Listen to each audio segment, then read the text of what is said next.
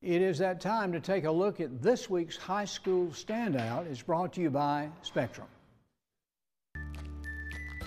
This week's high school standout just wrapped up a high scoring career in soccer. Wren's Josue Rodriguez just capped off his career with 104 goals per high school league record. That's the most in South Carolina since the early 90s.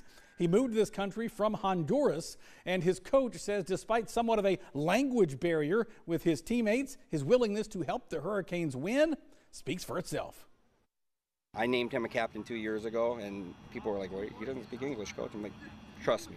When it comes to soccer, it's all the same language. It's helped me a lot because it's given these other boys the opportunity to see what hard work, dedication, and never giving up, that willingness to win and always fight, that's really what we needed this year, especially. He's actually made the guys around him better.